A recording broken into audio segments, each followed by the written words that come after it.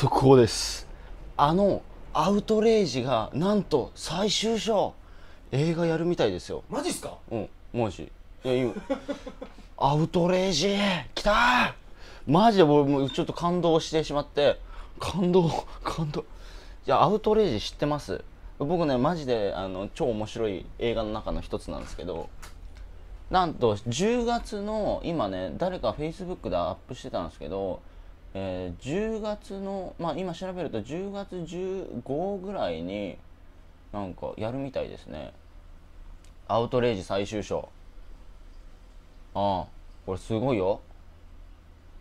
えー、アウトレイジ最終章が10月15ちょっと待ってね。多分10月あ10月8日かなんか2日前にこれニュースになったらしいです。あ10月7日初公開ってアウトレイジ最終章。僕初めて知ったんですけど見ました？アウトレイジ。伝説的な番組あの映画ですよ。あのね何がすごいかっていうとあのねまず衝撃的な映像がすごいんですよ。とりあえず。まあアウトレイジ見てない人はアウトレイジちょっとあのこの YouTube の下にリンクしてたので今すぐ DVD 取り寄せてもうしっかり見といてください。あのねアウトレイジやばいですよ。本当に。で僕ねあの北野武さんのまあ作品あとまああれも好きなんですけどね。あのーなんだっけな北野武さんのあのタップダンスのやつ。なんだっけな。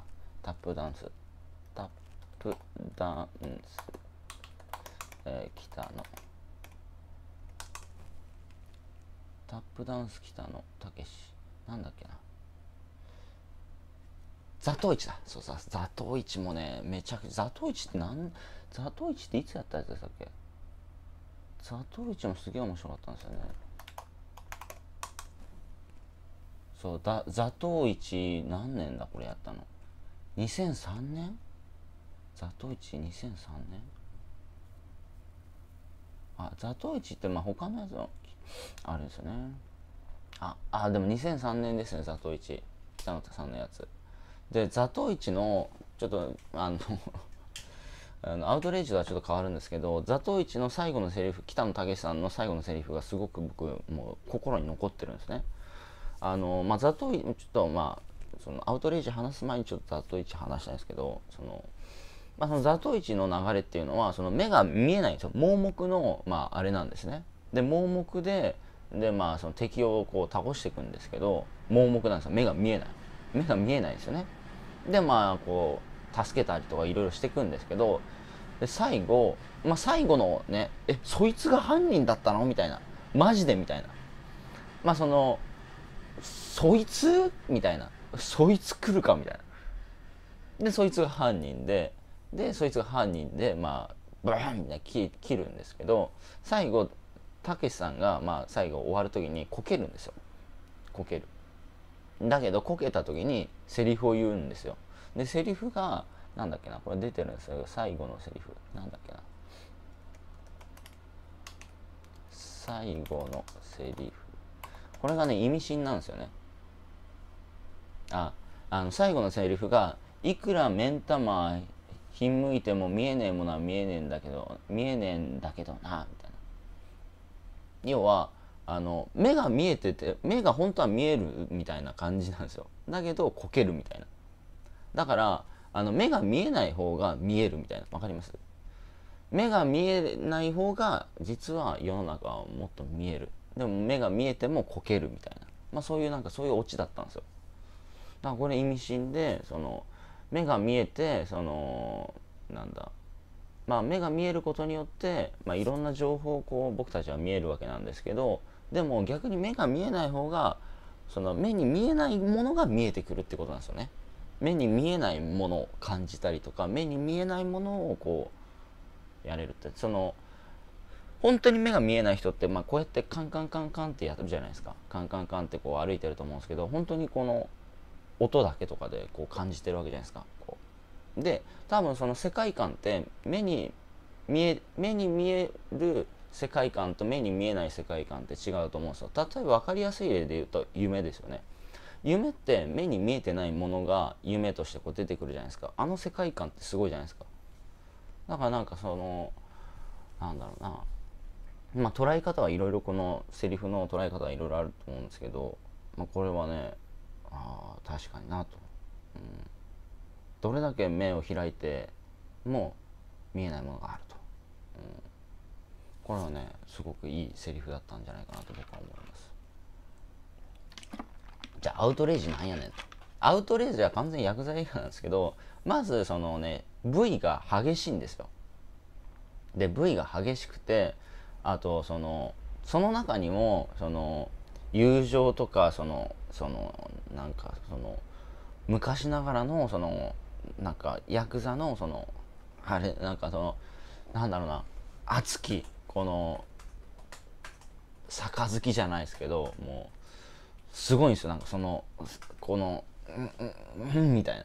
だからこれうまく表現できないですけどとりあえず映像がすごい。映像が過激ですごいのとあとねあのそのなその中でもその過激な映像があるんだけどその物語もちゃんとありつつ友情とかその思いっていうのが交差する。このこのこのねいろいろなね交差なんですよ。裏切りがあっていろんなこの交差してでまとまってるんですよね。そう。だからただただただの暴力戦争映画ヤクザの戦争映画だけではなくてその中のストーリー物語そこに出てくる主役の人たちのそのえあの演技だったりとかその感情の思い入れがすごいんですよ。すごい。だからまあアウトレイジに関してはその人の感情のこの動き方とかすごいんですよね、うん、これをうまく表現してていうかこのアウトレイジのこの映画って正直その漫画に出てくるような感じをもうえ原写化してるなと思うんですよ。本当に漫画で表現するようなそのすごいやつを本当に実写化したみたいな感じなんですよね。もうめっちゃ面白いんですアウトレイジ。アウトレイジマジで見てない人は見た方がいいですよ。あれめっちゃ面白い。うん。で最後そのなんかその最後のそのアウトレイジの最後はどんな感じだったかっていうとあのまあなんかね裏でその警察がなんか警察官のやつがなんかその そのなんかやってるんですよ。なんかそのううあのうまい汁を吸ってるんですけどその確かね警察官がね最後「バカ野郎ふざけんじゃないよ」みたいなね。なんかこ確か殺されるんだよバーンみたいな確か。うん。なんか警察のやつがなんかちょいちょいこうはは来てなんかあのわざとそうわざとこの戦争を起こさせるようにしてるんですよ。警察のやつが。そう。まあ、それもなんかねすごく面白いですね。うん、でそのけなんか警察のそいつにこの動かされてるみたいな実は。裏では。裏ではそいつにねこうなんかこうまあ警察もそのなんか大変だからそのヤクザのそういうの大変だからもうヤクザ同士で戦争させちゃえみたいな。戦争させちゃえみたいな。でこのなんかいろいろとこう手をこう操るわけですよね。でそこにあのみんながこうハマってって戦争してみたいないろいろあるんですけど、まあ、すごい面白いですね。でこのザこのアウトレイジの最終章これつながってんのかな、はい、アウトレイジはつながってんのかな？多分おそらく前の前作とつながってるのかもしれないですね。うん。アウトレイジシリーズの完結編っていうので今作は前回の絶の戦争の担となり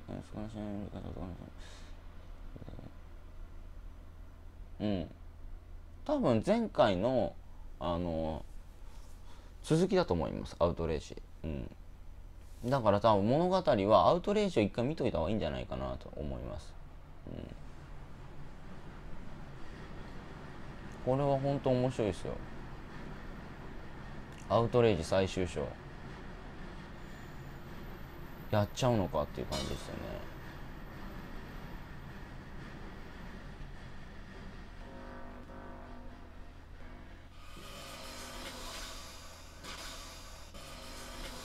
すごいないや僕知らなかったですね。なんかでもプレスリリースが今年の4月ぐらいにされてたのかな。僕初めて知りましたねアウトレイジ。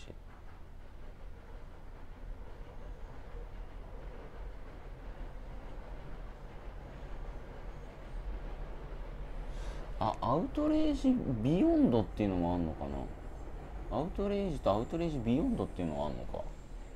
まあとりあえずあのこれはねすごくいいと思います。本当に。見といた方が。まああのまあ僕ヤクザとかそういうのも好きなんで映画的に。もう僕万田金次郎が好きなんですね。あの万田金次郎好きだし南の帝王。南の帝王と南の帝王と牛闇金牛島君マジで大好きです。うん。であとアウトレイジもこれ大好きですね、はい。ということで今回はですね速報ということでアウトレイジ最終章やるみたいなんでもうこれは絶対見ます。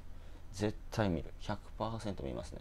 100%見る映画です。100%、まあ、最近僕仕事が忙しいので、まあ、映画とか見てないんですけどこれはね絶対見たいですね。もう一人でもう完全一人でもう映画館に行くんじゃなくて僕一人で DVD かなんか借りて一人で見ますね。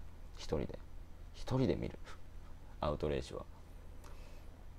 うん、これはね、まあ、まあ、映画館行った方がいいよって言った方がいいのかもしれないですけど、僕はね、これ映画館に行かず、本当に自分のこの、パソコンでも何でもいいんですけど、あの、モニ一人でも真剣に見るっていうのがいいと思います。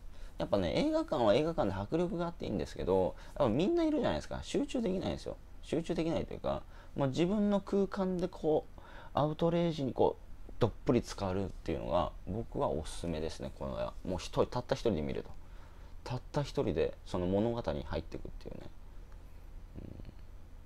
うん、なんかねこの北野さんが入ってるとなんか不思議な世界観というかそのなんかうまいんですよね世界観の作り方が。うん。うん。いやもう北野武さんもねもうお年だからもう多分ねもう映画にも出れないと思う。そんなにね出れないと思うんでこれは絶対見といた方がいいと思いますよ。まあ映画見に行ってもいいし DVD 借りてもいいし、うん、はいということでちょっと長々なってしまったんですけどまあザトウイチもおすすめですからザトウイチも、うん、はい。では速報でした。